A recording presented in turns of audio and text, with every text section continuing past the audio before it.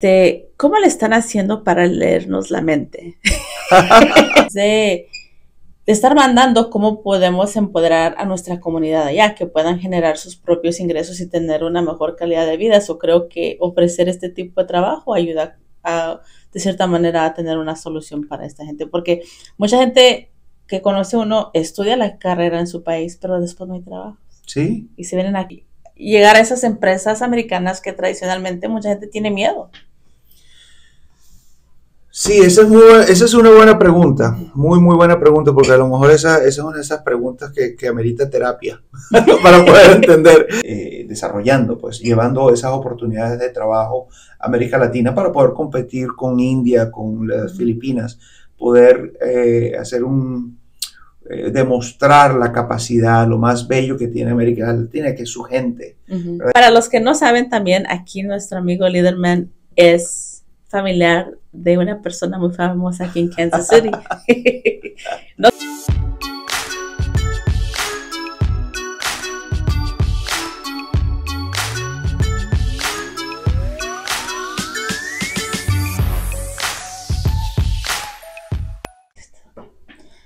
Hola, buenas tardes, bienvenidos una vez más a su podcast favorito, Empodérate. Hoy me encuentro con un invitado de lujo. Esta tarde me acompaña nuestro amigo Liderman Duin. Bienvenido, Liderman. Gracias, Belia. Muchas gracias. Es para mí un placer hoy presentarles a este señor que es un emprendedor, ha sido alguien que ha podido lograr muchas cosas y no solamente ha generado un negocio para él aquí en Estados Unidos, sino también ha podido lograr generar empleos para nuestra comunidad latina en toda Latinoamérica. Así es que es un honor para mí hoy contarles la historia de nuestro amigo Líder Manduin y su empresa, sus dos, empresas, porque no solo una, son dos. Bienvenido.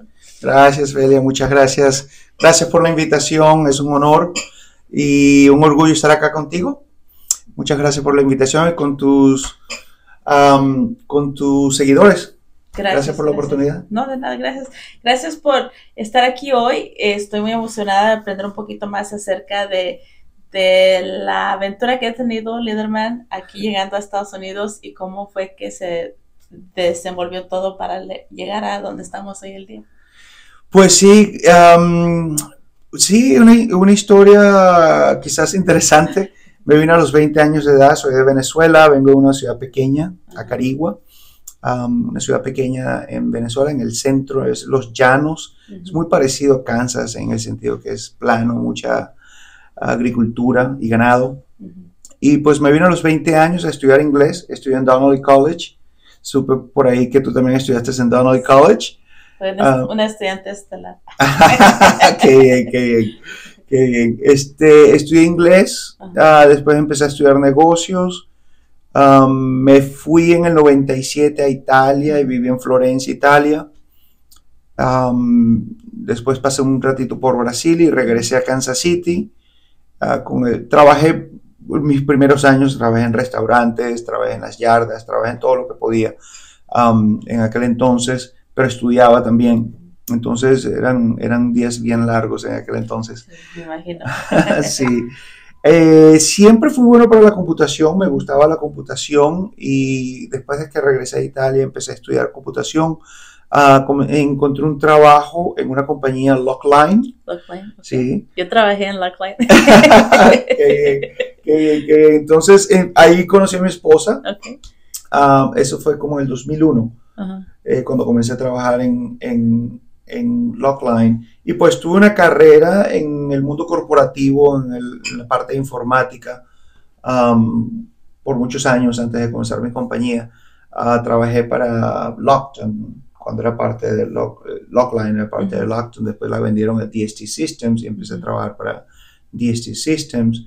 Después entré en Cerner, que fue donde tuve la mayor parte de mi carrera corporativa, trabajando en el área de salud. En Cerner tuve una carrera bien interesante, una compañía que estaba surgiendo y, creciendo muy rápido en aquel entonces. Ah, trabajé en Cerner como por unos ocho años, después fui a otra empresa, una empresa de San Diego, un startup, y luego trabajé por una empresa muy grande que fue comprada luego por Dell. Ah, y en el 2010-2011 comencé mi primera empresa que es Bluepoint 2, um, desarrollando software para el área de salud y trabajamos, para, trabajamos con hospitales y compañías en el área de salud. Um, y pues sí, así más o menos fue el comienzo, ¿no? En el Excelente. ¿Y qué es lo que hacen en las compañías? ¿De qué se trata el negocio? Sí, pues son dos empresas, ¿verdad? Una, la que estoy hablando, la primera, es Bluepoint 2. Uh, desarrollamos software para hospitales y, y, compañías que trabajan en el área de salud. Tucan Talent es la nueva empresa. Llevamos ya casi dos años en el mercado. Uh, y Tucan Talent se dedica a desarrollar software para muchas, para otras empresas, en todas empresas americanas, acá en Estados Unidos, pero desarrollamos el software con talento en América Latina. Entonces tenemos gente desde México hasta Argentina. Eso fue lo que se me hizo muy interesante, una de las razones por las que dije, tengo que invitarlo al podcast, porque pues por lo regular a nuestra comunidad migrante viene aquí a este país, agarra su trabajo, eventualmente muchos abren negocio y es todo aquí local, pero estas empresas dan la oportunidad de que personas tengan una carrera desde su país de origen sin tener que emigrar a Estados Unidos y poder salir adelante con una carrera profesional. ¿Cómo llegó a cabo esa idea? Eso, eso, gran parte fue gracias a la pandemia, ¿verdad? Que creó una necesidad para Bluepoint 2 de, de, contratar um, desarrolladores, programadores de software en América Latina y con eso surgió la idea de ¿Por qué no abrimos las puertas a muchos más hispanos, latinos, que lo que necesitan es una oportunidad de trabajo? El talento existe. Yo creo que existen, eh, en, América Latina tenemos dos inconvenientes. Uno, no tenemos el número, en números, ¿verdad? Hablando de números, uh, per cápita, no tenemos un número alto cuando se, se refiere al estudiante de informática. Pero eso es, es un, un, problema número uno. El problema número dos es que mm, la inversión de empresas americanas o, empresas del primer mundo en el área de informática no ven a América Latina como buenas posibilidades de negocios por la inestabilidad de los, de los, ah, de los gobiernos. Entonces, eso, eso causa que eh, mucha gente que ha estudiado informática, computación y, y gente talentosa no tenga oportunidades de trabajo. Y eso es lo que nosotros estamos uh, desarrollando, pues llevando esas oportunidades de trabajo a América Latina para poder competir con India, con las Filipinas, poder eh, hacer un, eh, demostrar la capacidad, lo más bello que tiene América Latina, que es su gente, y poder darles oportunidades de trabajo. Y, y, y, es muy bonito ver cómo eso se va desarrollando y cómo van surgiendo, uh, cómo como eh, el llevar buenas oportunidades, que paguen bien, que los traten bien, que los ayuden con la educación también, como eso, eso les va cambiando la, la, vida y les va abriendo nuevas oportunidades. Entonces, ¿cómo comenzamos a tu pregunta? Parte fue eh, creándome una meta, una, una meta que me asustara. Este es el momento perfecto, estamos en enero creando las metas todavía, ¿verdad? para el 2024. Y fue una de esas que realmente fue, quiero, quiero, quiero, crear, quiero hacer algo grande, algo bien en grande, que, que, que, deje una marca, que deje un impacto. Y pues, qué mejor que poner mi talento, lo que yo sé hacer en el área de computación, en crear empresas, en en crear equipos de trabajo y hacerlo en América Latina. Eh, partes como pagar, como, como, como... Como sí, retribuir al país de uno es como dicen aquí, hay un dicho que dice, puedes llevar al caballo al agua, pero no lo puedes hacer beber. Pero en vez de estar mandando uno dinero, porque a veces hay gente que dice, no, pues la familia allá en nuestro país nomás está pide, pide, pide, y quieren buscar como una solución de cómo en vez de de estar mandando cómo podemos empoderar a nuestra comunidad allá, que puedan generar sus propios ingresos y tener una mejor calidad de vida. Eso creo que ofrecer este tipo de trabajo ayuda a, de cierta manera a tener una solución para esta gente, porque mucha gente que conoce uno estudia la carrera en su país, pero después no hay trabajo. Sí. Y se vienen aquí buscando trabajo y así no hay necesidad de, de abandonar el país de origen de uno, ¿no? Sí, definitivamente. ¿Existe algún reto con los gobiernos que se, quizás pongan como barreras para que las personas que viven allá no puedan trabajar generando ingresos de acá de Estados Unidos? Existen retos, pero eh, como empresario, pues siempre le estoy dando la vuelta a ver cómo, cómo conseguir las soluciones a los retos, ¿no? Ah, no dejo que los retos me frenen. Eh, simplemente me inspiran a, ser más creativo y a buscar nuevas maneras de, poder hacerlo bien.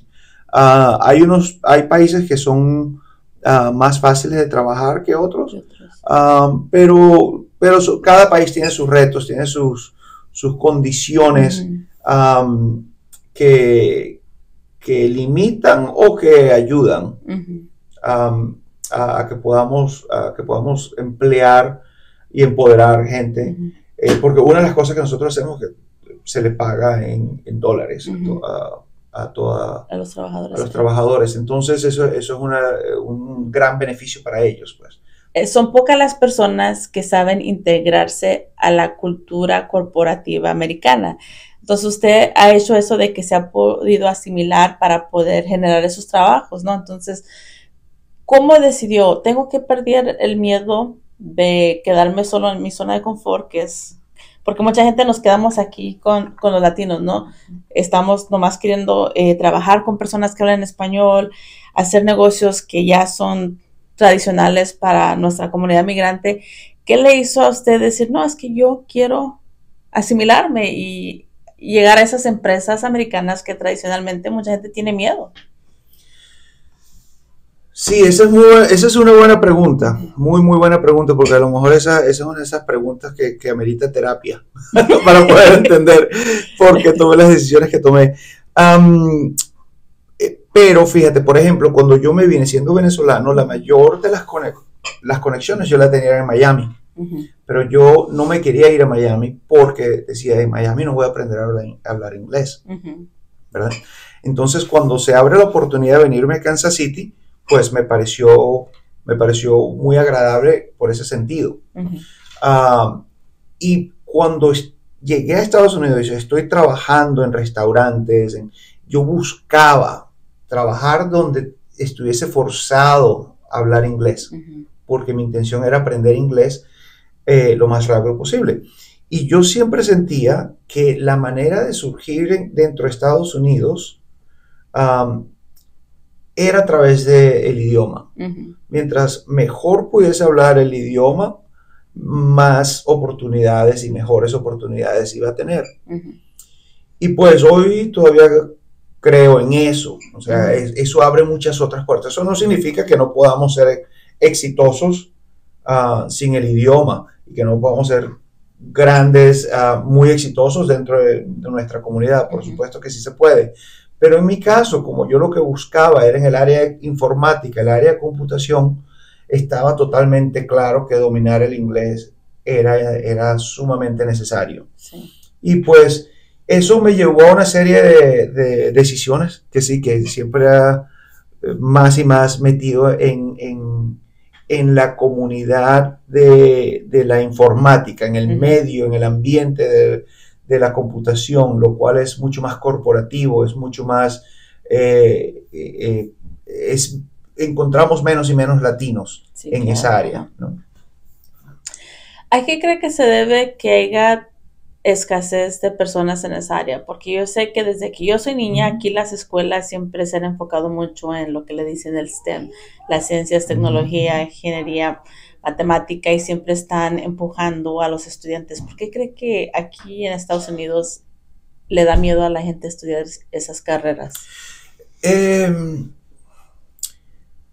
esa es muy buena pregunta. Yo creo que parte es porque los... Yo, yo soy primera generación, ¿verdad? Yo llegué, pero eh, tus padres creo que... Tú llegaste desde niña, ¿no? Nací en Estados Unidos. Tú naciste, tú naciste acá en Estados Unidos, ok. Eh, yo creo que muchas veces lo que sucede es que los, los padres que han, cuando ellos llegan, sus hijos, no, lo que conocen quizás es el ambiente, ¿verdad?, eh, de trabajo de sus padres, ¿verdad? Y normalmente como inmigrante, pues no, no, no estamos, y no sé si te, puedo, si te estoy respondiendo bien la pregunta, porque no sé, la verdad, la verdad tampoco tengo, tengo ese conocimiento, me gusta esa, pero pienso que es porque normalmente no vemos en nuestras casas, en nuestros hogares, como inmigrantes, ¿verdad? Que ese, esa, ese, esa línea de trabajo sea una posibilidad. No la conocemos. Entonces quizás... ¿El miedo a lo desconocido? Puede ser, puede ser, pero pero, pero también ahora que, que, pues la comunidad latina, la comunidad hispana es mucho más grande acá en Estados Unidos, quizás podamos ver un cambio. Um, es bien interesante esa pregunta, me gusta bastante esa pregunta. Sí, porque yo sé que desde siempre han hablado de eso del STEM, también para quieren que más mujeres entren a esa rama de STEM. Si hay escuelas como Frontier School of Innovation aquí que tienen todo enfocado en, en las ciencias, tecnología, en ingeniería y, matemáticas, o cómo podríamos animar a más personas que se metan a esa industria, a los niños, o sea, ¿cuál sería, cómo, cómo le diría usted a alguien que se animara a entrar a esa? O a lo mejor nunca es demasiado tarde, no solo los niños, sino personas adultas que digan, quizás está bueno, porque sabemos que ya el mundo está evolucionando, ya se habla mucho de la Artificial Intelligence, inteligencia artificial, que ya la usamos a diario a veces sin darnos cuenta. Yo acabo de comprar un carro que me voy dando cuenta que es más inteligente que yo. Entonces, ¿cómo podemos... ¿Cuáles son los beneficios de estar en esa industria? Los beneficios para mí son increíbles. ¿Por qué? Porque pues la informática, como, como lo estás diciendo, la inteligencia artificial, todo ahora es mucho más técnico, eh, forma parte de, nuestro día a día, tenemos un teléfono con nosotros que pues la capacidad que ese teléfono tiene es mucho más avanzado de cuando pusimos, ah, cuando enviamos un, cohete a la, cuando llegamos a la luna, ¿no? Entonces, cuando tú te pones a ver, estamos rodeados por tecnología y, ese, y esos avances son, eso hace que, que, que los avances sean mucho más rápidos, ¿verdad? Porque eh, la, la, hay, hay, tanta data, ¿verdad? Y la podemos analizar tan rápido hoy en día para tomar decisiones, que es un mundo, es sumamente interesante. Entonces, ¿por qué diría yo que es importante y es bueno y eh, a tu pregunta, creo que nunca es tarde. Por cierto, nunca es tarde. Para, y, eso, es, eso es otra de las cosas bonitas de la informática. Es que si tienes una buena actitud para, para la informática, no importa la edad que sea, puedes aprenderlo. pero, pero es algo que está ya innato en todo, eh, en todo lo que nos rodea. Entonces, lo otro que me gusta mucho es que, es que cuando, cuando, cuando tú tienes conocimientos eh, de computación, de informática, eh, puedes resolver tantos problemas a través de la tecnología que es, es sumamente bonito e interesante ver cómo algo de la nada puede, verse, puede crearse algo de la nada, ¿no? Y también pues el hecho de que él es un mundo de oportunidades porque todo ahora, eh, eh, nuevamente, la informática está en todo, que pues abre tantas puertas, tantas, pero tantas puertas en el mundo entero, lo cual es un gran beneficio para, todos. Sí, porque yo veo que, por ejemplo, en la industria hasta de construcción, veo que ya tienen como robots que construyen casas, entonces cada vez los trabajos están siendo reemplazados por más máquinas, ya vamos a la tienda y compramos y pagamos solos con una tarjeta a las tiendas como McDonald's, ya tiene uno ahí que poner su orden, entonces está ya tomando más esa dirección. Entonces yo digo, pues tenemos que, como quien dice, irnos capacitando nosotros para estar preparados para esos cambios, porque dicen, te puedes, puedes ahorrar tu trabajo si eres el que aprendes la tecnología. Los que no vayan aprendiendo la tecnología son los que se van a ir quedando sin trabajo. ¿Qué tan cierto será eso? Totalmente cierto. Es totalmente cierto. Eh, la tecnología está reemplazando, está reemplazando mucho al ser humano en muchos trabajos. Eso no significa que no, no todavía nosotros no, tenga, que, no tengamos espacio, pero sí es cierto que la, la tecnología reemplaza al ser humano en muchos casos. Sí, es totalmente cierto. Es... tendremos que saber cómo manejar la tecnología, programar la tecnología para tener más asegurado nuestro futuro, ¿no? Como trabajo, ya. Sí, definitivamente. Pero el solamente conocerla, no tienes que ser programador, pero sí, hay, hay que, hay que, y, y oh, aquí hablando ya me quería estudiar como programador. Perfecto, te entrenamos, vente a trabajar con nosotros. No, pero sí, ahora que, aquí en esta conversación que estamos teniendo me, parece sumamente interesante porque me, hace pensar en, qué tipo de programas podemos crear nosotros, qué podemos hacer para ayudar a nuestra comunidad, a la comunidad hispana, a que se actualice más a, la tecnología y se prepare más para, para los trabajos del futuro. Sí. Sí, porque hasta ya hoy en día las escuelas no quieren mandar las boletas como antes. Antes mandaban las boletas de grados um, en un papelito, a veces mandan sobre, pero ahora ya quieren que los papás tengan una cuenta de internet, que hagan, pongan sus datos y que vaya revisando uno las tareas de los niños y todo eso. Entonces muchos papás ni se dan cuenta de las calificaciones hasta ya que llega algo en el correo y uno puede ir viendo día a día si está o no al día con la tecnología. Sí. Pues bueno, bueno, vamos a hablar un poquito más de la carrera, porque me desvío mucho, me desvío mucho, pero vamos a hablar un poquito más de la carrera, los retos que, que ha enfrentado y cómo los ha sobrellevado para seguir adelante con estos negocios. Pues, ¿te refieres a cuál? ¿A Tucan Talent, el reto con América Latina o a los dos? ah, bueno, empecemos con la original. Vamos a hablar un poquito más porque dijimos tecnología de hospitales. Exactamente, o sea, no tiene que decirnos qué hospitales, pero más o menos qué es la tecnología que se está usando, cuál es la que ustedes trabajan para los hospitales. Eh, sí, eh, con, el tiempo hemos desarrollado mucha tecnología necesaria para estos hospitales, que a veces es integración de data, integración de, programas que ellos tienen. Eh, tenemos un programa acá que tiene cierta data, tenemos otro programa acá que tiene cierta data, queremos combinar esa data y poder presentársela al paciente de una manera o a los doctores para poder analizar uh, eh, el historial del paciente de una manera un poco más efectiva. Entonces, son muchos, son muchos, hay muchas cosas dentro de que, cada hospital tiene que es diferente, que es muy, eh, es de ellos, es específico para ellos y nosotros ayudamos en eso.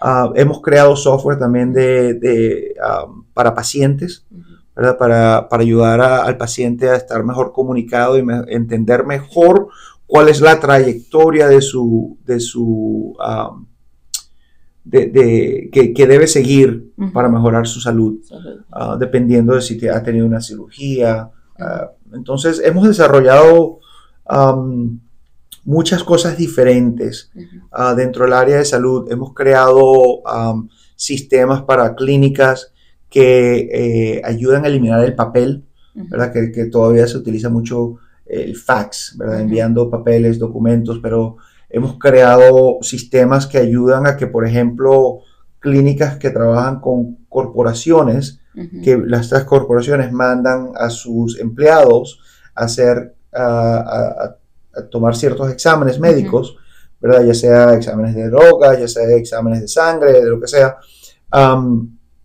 esos resultados, ¿verdad? Todo se maneja en muchas partes todavía con papel. Y nosotros creamos un sistema de automatización, el cual no utiliza papel y el, empleador o la corporación obtiene los resultados automáticamente en cuestión de, de, segundos, minutos. Eso es como similar como el MyChart, por ejemplo, yo en mi hospital que voy tienen un sistema de MyChart donde ingreso, puedo ver como mi estado de cuenta, de cuánto debo, puedo ver todos los resultados de mis análisis. A veces ya los veo en el sistema antes de que mi doctor me llame y me diga todo salió bien o salió esto y ya lo estoy viendo. ¿Son esos tipos de programas? Sí, parecidos, parecidos. Trabajamos con MyChart, nosotros nos podemos integrar con MyChart, hemos hecho ciertas eh, integraciones con ellos. Sí. Ah, perfecto. Bueno, y la otra compañía, entonces, la Toucan Talent, esa es un poquito diferente. Sí, esa es muy diferente porque eh, Bluepoint 2 desarrollamos software para hospitales nosotros con nuestra gente acá dentro de Estados Unidos. Uh Talent desarrollamos software para otras empresas. Okay. pero con talento en América Latina, ¿verdad? Entonces, la misión de Tucan Talent es poder llevar grandes oportunidades de trabajo para gente talentosa en América Latina. Excelente. Colocarlos en grupos, crear grupos de trabajo, enseñarlos lo más que podamos, ayudar a crecer juntos con ellos, ¿verdad? Y, y crecer ese, ese, ese número de gente. Entonces, dentro de Tucán también estamos haciendo, nuestra misión es, es esa, llevar buenos trabajos, ¿verdad? Que a América Latina, trabajos que, empoderen a nuestra gente, que ellos se sientan orgullosos de lo que están haciendo, uh, donde se, sean bien tratados, bien pagados, uh, bien educados, todo, ¿no? Entonces, para continuar esta misión, tenemos que tener una visión clara de qué es lo que estamos buscando. La visión es poder competir con India, con las Filipinas y con otras, con Indonesia, con otras partes que ah, ya tienen una trayectoria más larga en, la informática y tienen los números, tienen las, personas preparadas a, un número mucho más alto. Por lo tanto, estamos también nosotros ahora abriendo una fundación. Vamos a abrir nuestra fundación Talento y Talento va a ayudar a educar jóvenes en América Latina oh, en computación. Entonces, vamos prácticamente como una beca, ¿no? Para enseñarlos a programar, eh, que vayan aprendiendo, que vayan estudiando con nosotros, ¿verdad? Y que después puedan, podamos eh, eh, empoderarlos con, a través del empleo. Del empleo, excelente. So, crear varias empresas donde vayan creciendo y tener un equipo en cada país que les ayude a desarrollar. Por ejemplo, con las otras compañías, el tipo de talento, estamos hablando de que son personas que crean como, por ejemplo, tipo de aplicación como Uber, DoorDash o es diferente. Sí, hoy en día estamos creando para uno de nuestros clientes, estamos creando una plataforma que es de, social media, es en los medios sociales. Entonces eh, es interesantísimo porque, pues, imagínate, Facebook, Instagram, muchas de estas, nosotros estamos creando, nosotros, nuestra gente en América Latina está creando un software lo cual es sumamente interesante y, pronto va, a salir, ya, ya, está en el mercado, pero va a revolucionar uh, gran parte de, social media, uh, lo cual ya tiene creadores, ¿verdad? gente creativa que, está utilizando la plataforma para vender sus servicios o promover sus servicios. Um, y pues sí, esto, esto está hecho en América Latina. hablando ya de redes sociales. Sí y se escucha mucho de que hackean la información. ¿Qué tan vulnerable está nuestra información en las redes sociales? Sumamente vulnerable. Sumamente vulnerable. Totalmente vulnerable. es lo interesante de los medios sociales, ¿verdad? En este sentido, es que nosotros le damos toda nuestra información a ellos. Nosotros se las estamos regalando y ellos la están usando mañana, tarde y noche, todo el tiempo ellos están utilizando nuestra información. Toda la información que nosotros ponemos, toda esa información está siendo... Ah, Como rastreada. ¿no? Oh, sí, claro, porque existen muchos sistemas que eh, pueden entender quién eres, qué te gusta hacer, qué te gusta comprar, a dónde te gusta viajar, eh, eh, todo ¿verdad? Toda esa información que nosotros ponemos en los medios sociales, toda esa información está siendo, está siendo ah, escaneada, te podría decir, para entender cómo realmente mercadearte mejor. ¿Y qué es lo que sucede con eso? Creo yo, que ya es, ya es quizás un poco más en lo, en lo personal, eh, que nos va, nos va poniendo muy uniformes. Entonces todos todo el mundo ya ve lo mismo, todo el mundo ya sabe quién es quién, todo el mundo se, empieza a vestir mucho más parecido, eh, habla más parecido, compra los mismos productos, estamos, estamos siendo muy uniformes porque nos están mercadeando eh, eh, de una manera muy interesante, muy, le estamos dando la clave a ellos de, cómo, de cómo mercadear. Yo tengo una pregunta hablando de mercadeando. Este, ¿cómo le están haciendo para leernos la mente? porque la verdad parece que nos leen la mente a veces, porque a veces estamos pensando, necesito, y lo pensamos en la cabeza, no lo decimos fuerte y de repente abrimos Facebook y ahí está un anuncio de lo que pensamos. ¿Cómo le hacen? te está leyendo la mente. Esa, está buena. Bueno, no sé si te están leyendo la mente, pero... parece, parece que no la lee. Sí, a veces pareciera. Pero es por eso, porque todo está muy uniforme, todo está muy, muy... Lo interesante es que nosotros creemos que estamos siendo muy... Um, uh, ¿Cuál es la palabra que estoy buscando?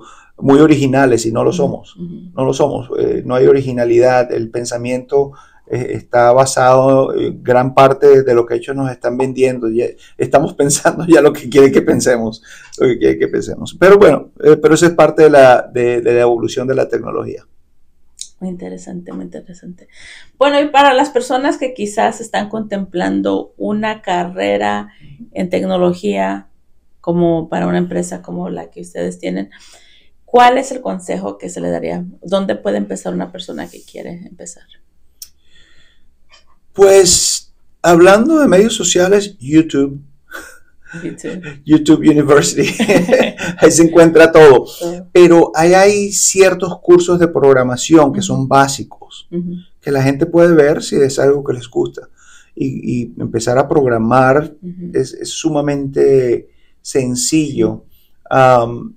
y, hay mucha información gratis que te puede ayudar a entender si es algo que te gusta. ¿verdad? Y después, por supuesto, las universidades, colleges acá en Estados Unidos, Community College, tienen muchas, uh, muchas clases um, disponibles. Normalmente la gente que es buena para las matemáticas, gente analítica, eh, detallista, es muy bueno. Son gente muy buena para la buena, pues ya de fuera. ok, está bien. Entonces, es una carrera que son como necesita uno un bachelor's degree, los cuatro años licenciatura, o hay cursos digamos, una certificación sencilla que se puede obtener para empezar? Mira, por supuesto siempre la carrera, tener la carrera es mucho mejor, pero lo bello de la informática es que tú no necesitas nada de eso. Tú te puedes conseguir un programador que tiene 15 años de edad, todavía está en, el, en, el, bachillerato eh, y, y, puede ser gran programador y nunca ha tomado una clase en un college, ¿verdad? Entonces, es, e, eso es la belleza de la programación, que puedes avanzar muy rápido y puedes, puedes tener un futuro, un ingreso, un buen empleo, todo eso sin necesidad ni siquiera de pasar por la universidad. Excelente. Bueno, hace rato mencionó su esposa. ¿Su esposa también se dedica a lo mismo que usted o es algo diferente? No, muy diferente. Ella se, se dedica a los eh, recursos humanos. Recursos humanos. ¿Y es latina o es americana? Americana. Americana, sí. ¿No hemos tenido el gusto de conocerla? Un saludo. Un día de eso, un día de eso la ven por acá. la traigo por acá para que la conozcan. Sí, por favor. ya queremos conocerla. Y bueno, para los que no saben también, aquí nuestro amigo Leaderman es familiar de una persona muy famosa aquí en Kansas City. no sé si quiera compartir, ¿verdad? Pero quiere Claro que sí. Mi hermano, el gordo Iván. El gordo Iván, el de la radio, ¿verdad? Sí. los de la mega, la, mera mera. sí, así es, así es. Y mi cuñada Ana, que es un amor, una belleza de persona, y mi hermano, pues, que es un gran orgullo de nuestra familia. Sí. Esa, él es el mayor, por cierto. Oh, sí. sí. Ah, pero sí, un, mi hermano pues... Son los pilares de la comunidad, ellos dos siempre han estado ayudando a la gente. Yo los conocí hace muchos años, de, hecho cuando recién agarré la carrera de, de radio, mi primer trabajo en la, fue en la doble Z junto con ellos oh. un ratito, un poquito antes de que cambiaran de dueños. sí, ya tengo varios años también conociéndolos a ellos, pero apenas este año, bueno, apenas hace unos meses, conocí al hermano aquí de, nuestros amigos Ana y Banduin. Un, un saludo. Saludos. Sí, no, un gran orgullo. Ellos, eh, eh, bueno, ¿qué te puedo decir? La comunidad los conoce, gente que, trabajadora, siempre buscando maneras de ayudar a la comunidad, pues adoran su trabajo, adoran poder ayudar y siempre están aportando todo lo que puedan para, ayudar a la comunidad. Ah, pues grandes, grandes ejemplos. Sí, claro. Y sí, pues sé que también ellos siempre han tenido mucho apoyo de la familia, no de ustedes, siempre ellos siempre han agradecido el apoyo que les brinda toda la familia, se ve que son una familia muy unida, entonces pues felicidades a toda la familia. sí. Bueno, un consejo más que quiera dar para las personas que estén viendo este podcast, un mensaje de, em, empoderamiento, motivación. Pues uh, sí, sí, sí. Eh, claro que sí, fíjate, cuando una de las preguntas que me hiciste, cómo, cómo, cómo comencé tu Talent, creo que fue, y te dije que fue a través de crearme una meta que me, que, que me diera miedo. Y eso es verdad. Yo creo que eso es lo que debemos hacer también. a veces hay que... Eh, hay, hay, como tres tipos de metas, creo yo. ¿no? Una, las metas que ya las hemos cumplido, ya las sabemos hacer. Entonces a veces no las ponemos, pero esas son metas muy sencillas. Ya lo hemos hecho. Ya sabemos cómo hacerlo nuevamente. Después unas metas que, bueno, si me gano la lotería, entonces hago esto, ¿verdad? Entonces siempre, siempre Ah, depende de algo más que pueda suceder. Entonces, pero ¿sabes qué? Me voy a poner como meta aquello. Si me gano aquel bono en el trabajo, entonces me voy en esas vacaciones. Y están las metas que te asustan, porque son metas tan grandes que a veces uno dice, wow, ¿cómo voy a lograr eso? Esas son las metas de verdad. Esas son las que me, me inspiran. Y eh, a tu pregunta, pues eh, yo creo que esas son las importantes no tienes que saber cómo lo vas a lograr. No tienes que saber cómo lo vas a lograr. Pero si es una meta que te asusta, que te asusta porque te inspira y tú la ves que es muy grande, esa es la meta que debes seguir. Esas, esas son las metas buenas.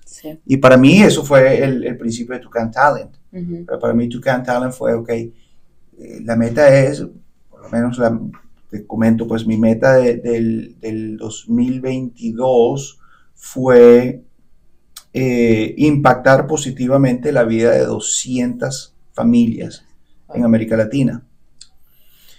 Cuando tú lo ves así como número, wow, eso es bastante. Sí. Tú dices, wow, eso, eso, eso me asustaba a mí en el 2022. 200 familias. Tengo que impactar 200 familias de una manera positiva dentro de América Latina. Esa era mi meta. Esa meta yo la veía todos los días, la escribía todos los días, la visualizaba todos los días.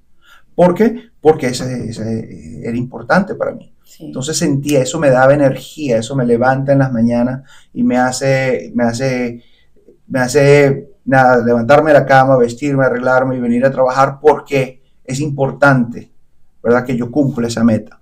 Y pues, y así cada vez hay metas diferentes, pero cuando yo veo lo que estamos logrando con tu Talent es llevar oportunidades para toda América Latina. Mucha gente me dice a veces, a veces, pero ¿por qué tantos países? ¿Por qué no te concentras en un solo país? ¿No sería más fácil manejar la compañía si la tuvieses nada más en Ciudad de México, por ejemplo? Sí, sería más fácil, es cierto. Bueno, ¿y por qué no lo haces? Porque no, estoy, no estoy buscando lo más fácil. Eso no es mi meta. Mi meta no es enriquecerme más y ya, y hacerlo de la manera más fácil. No, la meta es llevar oportunidades de trabajo a América Latina, transformar como el primer mundo ve América Latina cuando se trata de la informática. Yo no puedo impactar a los gobiernos en América Latina, pero lo que sí puedo es impactar la mano de obra, ¿verdad? La mano, el talento que tenemos en América Latina y prepararlos mejor en la informática y llevarles más y más oportunidades para que ellos mejoren sus vidas, mejoren la vida de sus familias. Nosotros tenemos gente en la compañía joven, jóvenes que están en América Latina comprando su casa, comprando su vehículo, comprando su departamento. Gente que muchos de ellos quizás ni soñaban que, iban a poder lograrlo y hoy lo, lo pueden hacer. Estamos levantando a esa gente, pero para, para hacer eso hay que pensar en grande, hay que pensar en una meta que te dé miedo. Sí. Es cierto. Eh, alguien dice por ahí, si tu meta no te da miedo, entonces no estás pensando lo suficientemente en grande. Entonces, es. verdad, si siempre tiene que uno tomar un paso grande y perder, ¿quién comentó? El valor es hacer las cosas aún teniendo miedo. Así es. Y no tienes que saber cómo lo vas a hacer. Porque yo creo que esa es la parte que a veces, a veces eh, nos confunde, que creemos que si voy a ponerme una meta, tengo que tener todo el camino para cómo lo voy a lograr. Y no es así, yo, por lo menos no es, mi, no es mi opinión. Yo creo que es absolutamente lo contrario, completamente lo contrario. Es, no importa que tú no sepas cómo lo vas a lograr, pero cuando esa meta es importante para ti y es una meta grande que te da miedo, porque no sabes cómo y porque te abruma de nada más lo grande que es esa meta, ¿verdad? Eso te da propósito. Esa meta te da propósito y el propósito te da la posibilidad de enamorarte de lo que haces, de estar feliz, alegre, contento, tener ese, ese nivel de energía que es necesario para que vayas a descubrir cómo lo vas a lograr. Sí, sí todos tenemos que empezar de algún lado, nadie nace sabiendo, así como de bebés tuvimos que primero aprender a gatear, después a caminar, después a correr, todo en la vida es igual, nada más que los niveles se van poniendo un poquito más difíciles ya conforme se va uno especializando en cada cosa, ¿no? Sí, así es. pues muchas felicidades, es realmente todo un orgullo hispano, este, y pues un orgullo también para mí tenerlo aquí en esto, sabiendo que todo lo que ha logrado, las metas y que está ayudando a aportar a mejorar nuestros países, a, a, mejorar la economía de nuestros países, porque si no está entrando el dinero a esos países no pueden crecer, ¿verdad? Entonces, muchas felicidades, todo un orgullo hispano y pues ya son todas las preguntas que tiene yo. este, pues, si no tienes nada más que decir, nos despedimos y... Como no, muchísimas gracias nuevamente, gracias por la oportunidad, gracias por la oportunidad de, poder estar aquí contigo. Me encanta el trabajo que estás haciendo. Sigue adelante. Eres, eh, pues acá en la comunidad te quieren muchísimo. Te queremos muchísimo. Ah, entonces eres un gran orgullo para todos. Y pues ah, nuevamente muchas gracias por la invitación. Nada, nada, gracias a ti, sigue adelante y gracias a ustedes por haberse conectado el día de hoy. No le cambio, continuamos con más aquí a través de Univision Kansas City. Gracias.